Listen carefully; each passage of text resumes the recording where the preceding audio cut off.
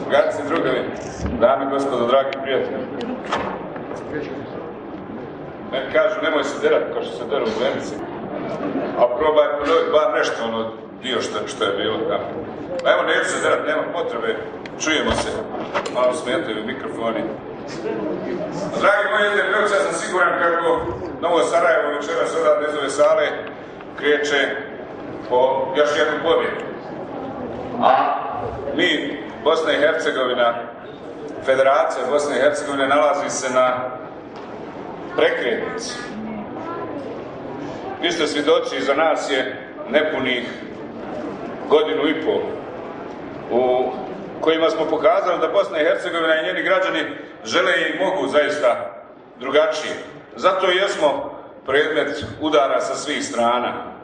U ovom trenutku u Federaciji Bosne i Hercegovine gradi se više autoceste nego što je izgrađeno za posljednjih 20 godina. Naredne godine će na autocesti raditi 5000 radnika, a paralelno kao popratno će biti angažovano između 12 i 15 hiljada ljudi. I, sasvim logično, nekima se ta brzina nije sviđala. Oni su navikli da prave par stotina metara autoputa za godinu dana. E zato smo odlučili da ih pošaljemo u opoziciju, pa neka im se, brate, tamo ne sviđa ovo što mi radimo. Naša je velika pobjeda što vraćamo povjerenje ljudi u institucije vlasti, koje su tu zbog njih, a ne zbog onih koji su umislili da se ugrožavaju nacionalni interesi cijelog jednog naroda ukoliko oni izgube fotelje. Zamislite, nije problem to što su opustošili privredu, što su unesrećili radnike, zemlju doveli pred bankrot, problem je kada trebaju napustiti fotelje i zbog toga moraju u opoziciju. Pokazali smo, dragi prijatelji, da znamo vratiti dostojanstvo braniteljima. Njima smo do sada iz budžeta federacije vratili 110 miliona maraka duga kojeg su napravili upravo oni koji se kunu da štite njihova prava, a godinama ih pljačkaju i varaju. Nije važno je li neko bošnjak, srbin ili hrvat pripadnik armije ili hrvatskog vijeća odbrane. Samo je jedno mjerilo. Da li ima ili nema zakonskog osnova da prima naknadu iz budžeta. I tu s nama nema kalkulisanja. Pravi borci ne plaše se revizije, revizija smeta onima koji nelegalno koriste prava, kao i onima koji su im tu to omogućili. I zato se oni trebaju plašiti pravde. Prvi put više od 200.000 penzionera u cijeloj federaciji ima osigurane subvencije za plaćanje električne energije i to iz novca obje elektroprivrede. Podsjećam vas, obje elektroprivrede. Do sad je federalna vlada upravljala jednom elektroprivredom, a druga je bila onako sama za sebe. I to nije sve. Primaoci socijalne pomoći imaju subvencije za struju iz budžeta.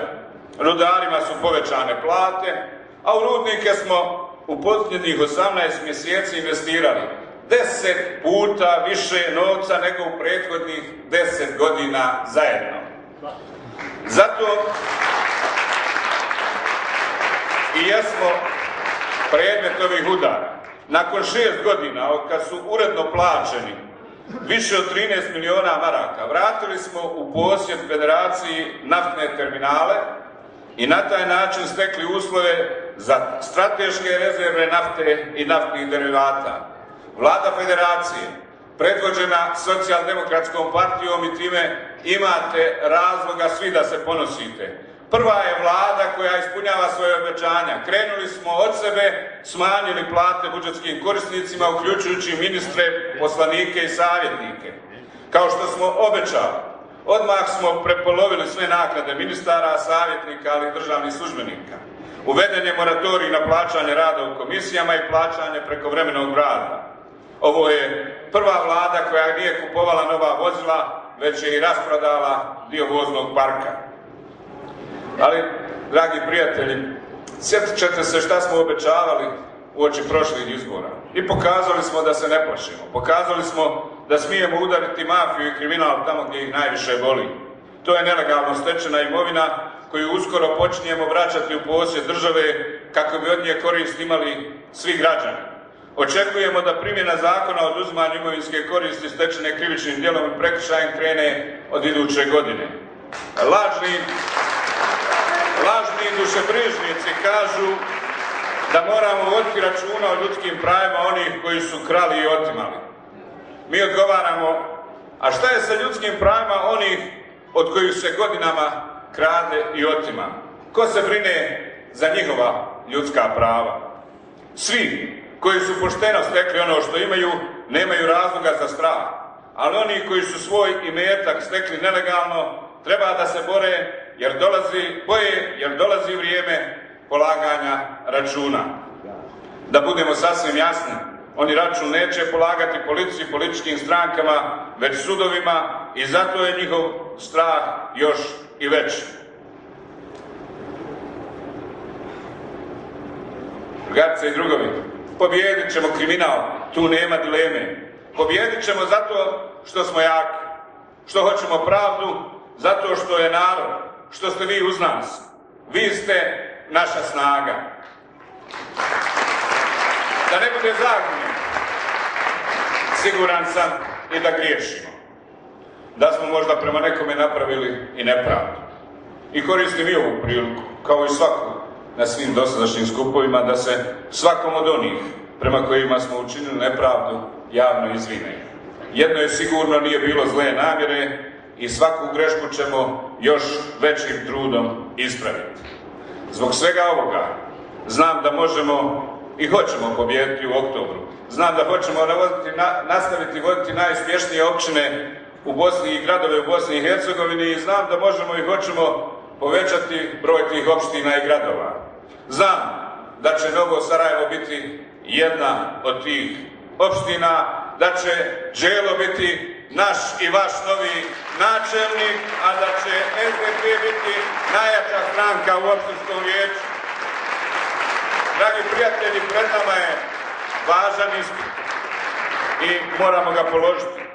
Na taj način stičemo pravo da u iduće dvije godine još odlučnije, još snažnije i još uspješnije povedemo Bosnu i Hercegovinu ka putu razvoja i pravde.